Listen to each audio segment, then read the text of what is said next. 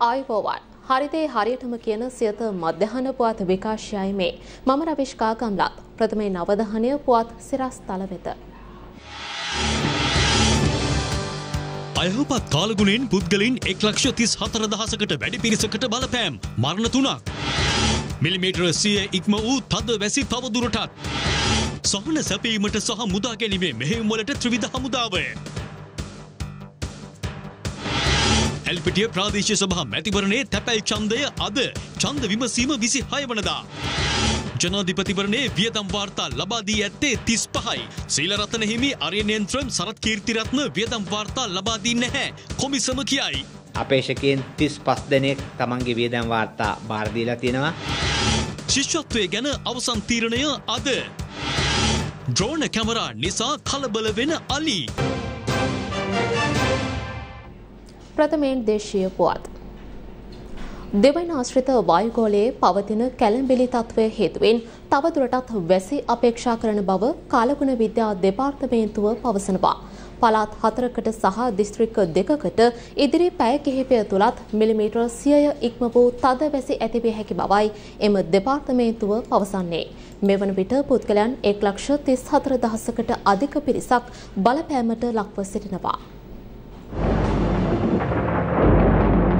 දෙවයිනට බලපා ඇති අයහපත් කාලගුණ තත්ත්වයක් සමඟ දිස්ත්‍රික්ක දොළහකට බලපෑම් එල්ල වී තිබෙනවා. මෙවන විට පුද්ගලින් එක් ලක්ෂ තිස් හතර දහස් හරසි අසූ හතර දෙනෙකු අයහපත් කාලකුණින් බලපෑමට ලක්ව ඇති බවයි වාර්තා වන්නේ. අයහපත් කාලකුණින් පුද්ගලින් තුන් දෙනෙකු මිය ගොස් තිබෙනවා. පීඩාවට පත් වූ පුද්ගලයින් හය දහස් නවසේ හැටතුන් දෙනෙකු මෙවන විට මධ්‍යස්ථාන අසු එකක රඳවා තිබෙනවා. කලකුණින් විපතරපත් ජනතාවට සහන සැල්සීමේ කටයුතු ත්‍රවිධ හමුදාව මගින් සිදු කරනු ලබනවා.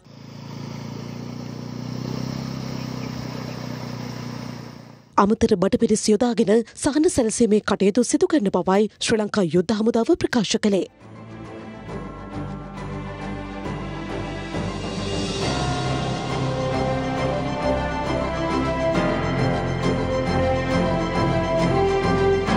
හදිසි ආපදා තත්ත්වයකදී සහන සැලසීමට සහ මුදා ගැනීමේ කටයුතු සිදු කිරීමට ශ්‍රී ලංකා ගුවන් හමුදාවත් සෝදානමින් සිටිනවා. ඒ අනුව බෙල් හරසිය දොළහ වර්ගයේ හෙලිකොප්ට යානාවක් රත්මලාන ගුවන් හමුදා කඳපුරේත් බෙල් දෙසිය දොළහ වර්ගයේ හෙලිකොප්ට යානා හිඟුරක්කොට ගුවන් හමුදා කඳපුරේ සහ පලාලේ ගුවන් හමුදා කඳපුරේත් ස්ථානගත කර ඇති බවයි වාර්තා වන්නේ. ඒ ගුවන් හමුදාධිපති එයාමාශල් උදේනි රාජපක්ෂගේ උපදෙස් පරිදි. කැලනිකඟ පිටාර කැරීමත් සමඟ කඩුවල ප්‍රදේශයේ පහත්බීම් රැසක් තවමත් ජලය බලයෙන් යටව පවතිනවා.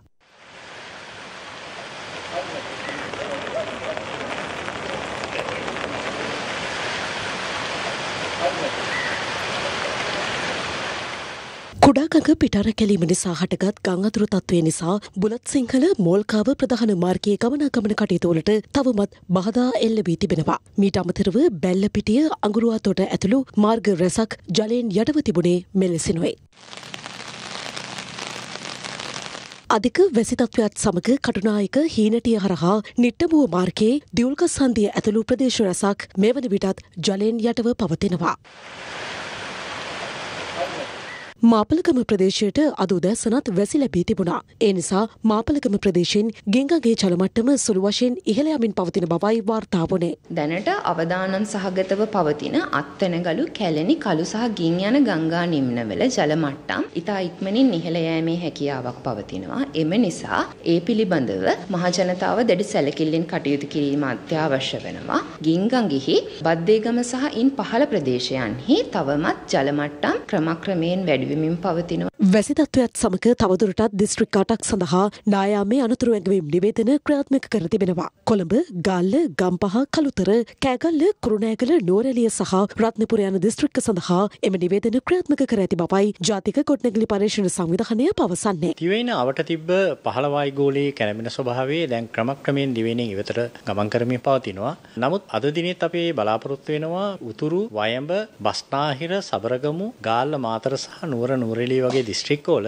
කඩින් කඩ වැසි හෝ ගිගුණු සහිත වැස් තත්ත්වයන් නිර්මාණය වෙන බව. තරමක තද වැසි අපි අපේක්ෂා කරන්නේ බස්නාහිර සබරගමු ගාල්ල මාතර සහ උතුරු පළාතේ සාමාන්‍ය මිලිමීටර් 100 ඉක්මන වර්ෂාපතන ලැබීමේ හැකියාවන් තියෙනවා. මේ දේ කාලයේ තියෙන වැසි තත්ත්වය සාමාන්‍යයෙන් 17 වෙනි දින දක්වාම පවතින ලකුණු තමයි අපේ දැනට විශ්ලේෂණවල පෙන්눔 කරන්නේ. ඇල්පිටිය ප්‍රාදේශීය සභා මැතිවරණයේ තැපැල් ඡන්ද සලකුණු කිරීම අද ආරම්භ වුණා. එම ප්‍රාදේශීය සභාවේ ඡන්ද විමසීම ලබන 26 වනදා පැවැත්වීමට නියමිතයි. මේ අතර අපේක්ෂකයන් තිදෙනෙකු ජනාධිපතිවරණයේ වියදම් වාර්තා ලබා දී නැති බව මැතිවරණ කොමිෂන් සභාව පවසනවා. ඇල්පිටිය ප්‍රාදේශීය සභහා මැතිවරණයේ තැපැල් ඡන්ද සලකුණු කිරීම අද ආරම්භ වුණා. මැතිවරණ කොමිෂන් සභාව පැවසුවේ අද දිනේ තම ඡන්දය සලකුණු කිරීමට නොහැකි වන තැපැල් ඡන්ද හිමියන්ට ලබන 18 වනදා සේවා ස්ථානයේ පිහිටි දිස්ත්‍රික්කයේ දිස්ත්‍රික් මැතිවරණ කාර්යාලයේදී ඒ සඳහා විශේෂ අවස්ථාවක් හිමි වන බවයි. ඇල්පිටිය මැතිවරණයට අදාළ නිල ඡන්ද දැන්වීම් පත්‍රිකා ලබන 17 වනදා සිට 20 වනදා දක්වා බෙදා හැරීමට නියමිතයි. පිළිගත් දේශපාලන පක්ෂ 8ක් සහ ස්වාධීන කණ්ඩායමක් ඡන්ද විමසීම වෙනුවෙන් නාම යෝජනා බහර දී තිබෙනවා. තිබෙනවා. අද දිනේදී තැපැචන්ද භාවිතා කිරීමට නොහැකි වන අය සඳහා 18 වෙනි දින වෙන් කරලා තිනවා. ඒ වගේම එල්පිටිය ප්‍රාදේශ සභාවේ නිය ඡන්ද දැන්වීම පත්‍රිකා 12 වෙනිදා තැපෑලට බාර දී තිබෙනවා. එල්පිටිය ඡන්ද විමසීම මේ මාසේ 26 වෙනි සෙනසුරාදා පැවැත්වීමට අවශ්‍ය කටයුතු විධිවිධාන මේ වන විටත් යොදලා තියෙනවා. මේ අතර ජනාධිපතිවරණයේ වියදම් වාර්තා ලබා දීම ඊයේ මධ්‍යම රාත්‍රියෙන් අවසන් වුණා. ඒ අනුව අපේක්ෂකයන් තුන්දෙනෙකු තම වියදම් වාර්තා ලබා දී නැහැ. ඒ සරත් කීර්තිරත්න, සීරරතන හිමි සහ ආර්ය නේත්‍රන් යන අපේක්ෂකයන්. අපේක්ෂකයන් 35 දෙනෙක් තමන්ගේ වියදම් වාර්තා බාර දීලා තියෙනවා. ඒ වගේම දේශපාලන පක්ෂ 28කින් දේශපාලන පක්ෂවල වියදම් වාර්තා බාර දීලා තියෙනවා. අපි ඒ සම්බන්ධයෙන් ඉදිරි කටයුතු මැතිවරණ කොමිසම් සභාවේ නීති අංශය මගින් කටයුතු කරගෙන යනවා. මැතිවරණය ඇතුළු රටේ වත්මන් තත්ත්වය සම්බන්ධයෙන් ඇසුණු කතා දැන්. ප්‍රකම වංචා දූෂණය සිද්ධ වෙන්නේ දේශපාලඥයෝයි ඉහළ පෙළ දූෂිත රාජ්‍ය නිලධාරීන් කොටසකුයි ජාවාරංකාරක ව්‍යාපාරික වලල්ලකුයි එකතු වෙලා. එතකොට ඒකේ දේශපාලඥයන්ගේ විතරක් හොරකම් අල්ලලා මේ ජාලය බිඳින්න බෑ. එතකොට මේ ආණ්ඩුව මුණ දෙන අභියෝගය තමයි. පත් වෙන ඕන ආණ්ඩුවකට ගිහිල්ලා නැට්ටේ එල්ලෙන ඔය සෙට් එක හලලා දාලා කොහොමද මේ දේවල් වලට සාධාරණයක් කරන්න කියලා. ඒක අභියෝගයක් ලෙස පවතිනවා. ඉන්නපු දවසේ නම් මේ මනුස්සයන්ට කකුලෙන් ඇදලා කුහකෙක් වෙන්න හොඳ නැහැ. එයාට වැඩ කරන්න අපි ඉඩ දෙන්න ඕනේ. හැබැයි යා පිටපයින් හදනවා නම් එයා ආයි පාරක් ඒ පොරොන්දු නැතුව වෙන දේවල් කරන්න හදනවා නම් අන්න එදාට පාර්ලිමේන්තුව ඇතුලේ ඉන්න ඕනේ එයාව හරි පීල්ල දාන්න කට්ටිය. මේ මැතිවරණය සඳහා අපි පාර්ලිමේන්තුවට මන්ත්‍රීන් 12 දෙනෙක් තෝරාපත් කරගන්නවා. මම දිස්ත්‍රික්කයේ නායකයා හැටියට මේ කණ්ඩායමේ නායකයා හැටියට මගේ එකම ඉලක්කය එකම බලාපොරොත්තුව තමයි අඩු ගානේ මහනුවරින් ගෑස් සිලින්ඩරෙන් මන්ත්‍රීවරු පස් දෙනෙක්වත් පාර්ලිමේන්තුවට අරන් යන්නේ. අඬුව තියාගෙන අතපුච්ච ගන්න ඕනි නෑ. අපි දැක්කනේ ගෝඨාභය රාජපක්ෂ මහත්තයා ගෙනල්ලා මොකද උනේ? පාර්ලිමේන්තුවේ නීති සම්පාදනයේදී අවශ්‍ය මැදිහත් වීම අවශ්‍ය සහයෝගය නොලැබෙනවා නම් පාර්ලිමේන්තුවක් නන්නත්තර වීමට යන්න පුළුවන්. නිසා මම දකිනවා අලුත් මූණු කියලා. ගේන්න හදන්නේ පරණ මූණු ටික ආරක්ෂා කරගන්න නම් පාර්ලිමේන්තුව ටික පාර්ලිමේන්තුවේ එන්න ඕනි නම් ඒකත් දෙසරයක් මේ රටේ ජනතාව හිතන්න. මාව අසා අසාධාරණ ලෙස මහජනතාව වෙනුවෙන් විදුලි බිල සම්බන්ධයෙන් පිටි සිටීම නිසා පාර්ලිමේන්තුවෙන් අස් කරපු එකම සභාපතිවරයාගේ මට සාධාරණයක් නීති මාර්ගයෙන් ඉටු වෙයි කියලා ඒ අනුව ඉදිරියේදී මහජනතාවගෙන් සූරා කාපු මේ අති විශාල ධනස්කන්ධය බිලියන ගානක ලාභය ආපහු මහජනතාවට ලබා ගැනීමේ හැකියාවක් තියෙනවා. සමහරු බයයි ඡන්දෙට ඉදිරිපත් වෙන්න. මොකද දන්නවා මිනිස්සු ඔවුන්ට ඡන්ද දෙන්නේ නැහැ. ආවොත් ගහලා එළවනවා. නිකන් ගුටි කනවට වඩා හොඳයි කරලා ඉන්න එක. සමහරුන්ට. කොළඹ මිනිස්සුන්ට මාව පාර්ලිමේන්තුවේ යවන්න ඕන අනේ මං ඒක පිළිගන්නම්. කොළඹ මිනිස්සුන්ට මාව පාර්ලිමේන්තුවේ අරින්න අරින්න නැත්නම් මම මගේ වැඩේ බලා ගන්න. කිසි අවුලක් නැහැ. මේ රටේ හිටපු විශාල පතාක වෙනස් විදිහේ දේශපාලන චරිත ගණනාවක් ඉදිරිපත් වෙන්නේ නැහැ. බලය පතුරවගෙන මිනිස්සුන්ව තලා පෙලාගෙන හිටි. හැබැයි ඒ ක්‍රමය වෙනස් වෙලා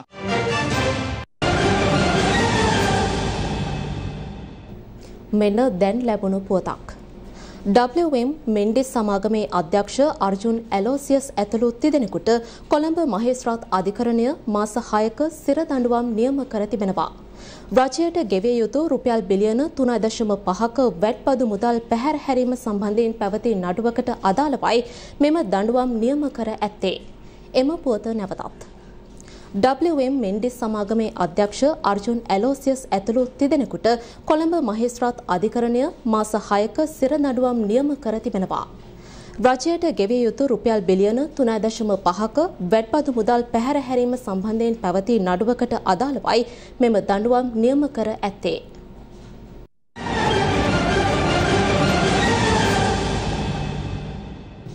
මතභේදයකට ලක්වී ඇති දෙදහස් විසිහතර ශිෂත්ව විභාගයේ පිළිතුරු පත්‍ර පරීක්ෂාව සම්බන්ධයෙන් අද අවසන් තීරණයක් ගැනීමට නියමිතයි.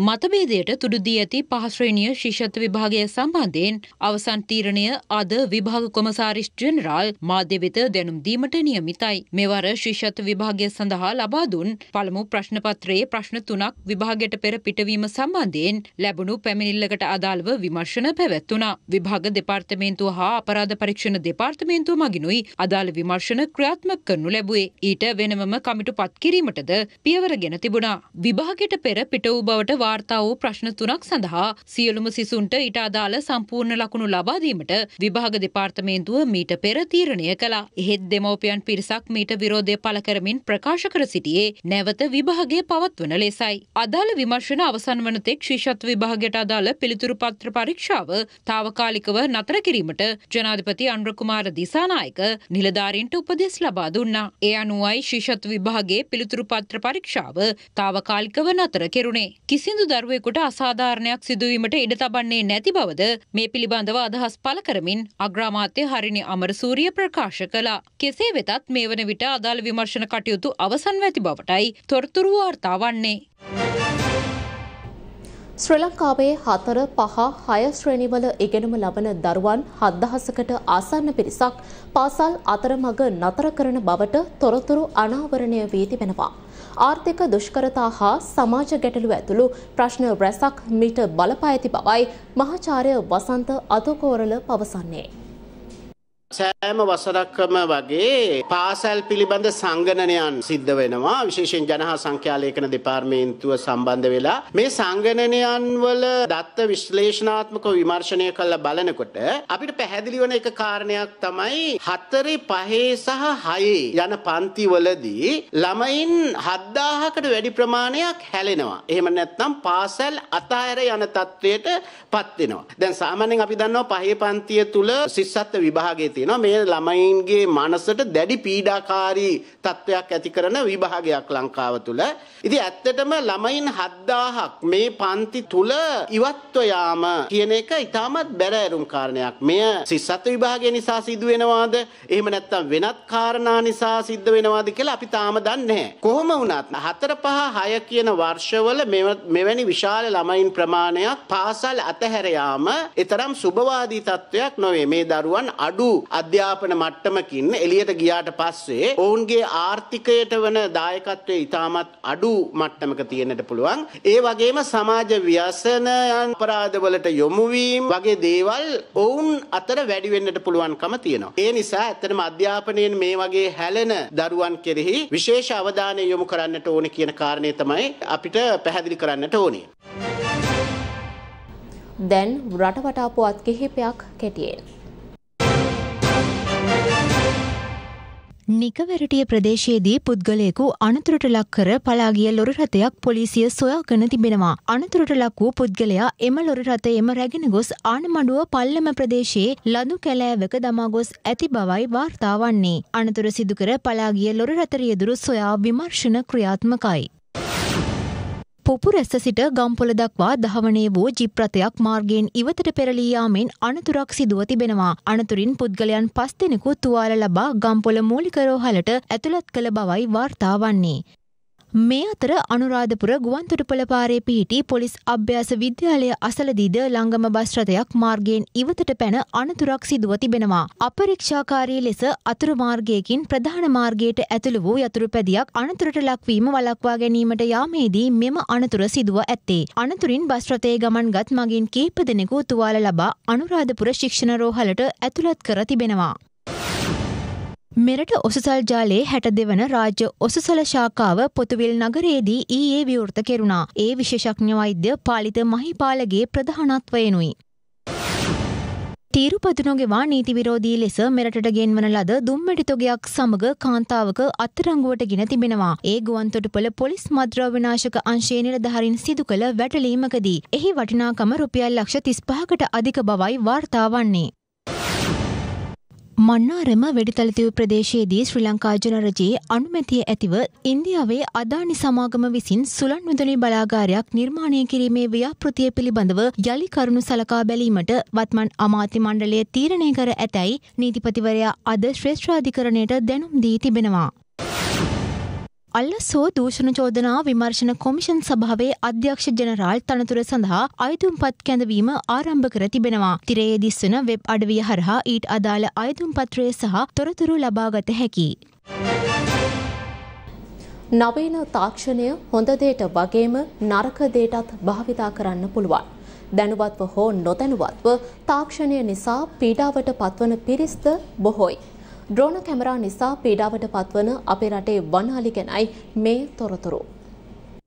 මිහින්තලේ මහකණදරා වැවට දිනකට ජලය සොයා පැමිණෙන වන අලීන්ගේ සංඛ්‍යාව දෙසීයකට අධිකයි. මේ දුර්ලභ දර්ශන නැරබීමට දෙස් විදෙස් සංචාරකයෙන් විශාල පිරිසක් පැමිණෙනවා. ඇතැම් පිරිස් ඩ්‍රෝන කැමරා ආදී යොදා ගනිමින් එම දුර්ලභ දර්ශන පටිගත කරන ආකාරයද දකින්නට පුළුවන්. ඒ තුළින් සිදුවන්නේ වන අලීන් බියට පත්වී කලපලයට ලක්වීමයි. මෙහිදී කෑම සොයාගන්නවා වෙනුවට වන අලීන් නැවතත් වනාන්තරයට වදිනවා. මෙලෙස බියට පත්වන වනාලීන් රාත්‍රී කාලයේදී ගම්වැදි බවභෝගවලට මෙන්ම නිවෙස්වලටද හානි සිදු කරන බවයි ප්‍රදේශවාසීන් පවසන්නේ. මේ ඩෝන කැමරා යවන සෙට් එකක් ඉන්නවා. මේ සෙට් එක කරන්නේ අලින්ගේ කන්න ළඟට යනකම් මේ ඩෝන කැමරාව යවනවා. මේ අලි බය වෙලා සීසී කඩ යනවා. ගිහින් කැලෑ වදිනවා. මුන් ඊට පස්සේ අහලා මායින් ගම්මානවට පනිනවා. උන් හිතන්නේ මේ මොකෙක් හරි සතෙක් එනවා කියලා. මේ අහිංසක සත්තුන්ට වතුර ටිකක් බොන්න දෙන්නේ නැහැ. කන්න ටිකක් කන්න දෙන්නේ නැහැ. මොකද හේතුව මේ මිනිහ ඒ සත්තුන්ට වද හිංසා කරොත් රැයට ඒ සත්තු මිනිස්සුන්ට වදේ වදිනවා. ඒක හින්දා පුළුවන් තරම් බලධාරී මේ ගැන විමසිලිමත් වෙලා මේකට දැඩි ක්‍රියාමාර්ගයක් ගන්න. මිනිස්සුන්ට ගහලා මැරුවට පස්සේ සතාට වැඩි තියෙන එකවත් අලි වැඩි දාලා මොක ඒක නෙමෙයි වැඩි. ඒ සතා ඒ නිදහසේ නිදල්ලේ කාලා ගියා නම් ඒ සතා තව කාටවත් කරදරයක් වෙන්නේ නැහැ. මධ්‍යහන පුවත් විකාශය අවසන්. ඔබට සුබ දවසක්. රටේ ලෝකෙ සිදුවන උණුසුම් පුවත් දැනගන්න සියත නිවස් YouTube channel එක අදම subscribe කරන්න.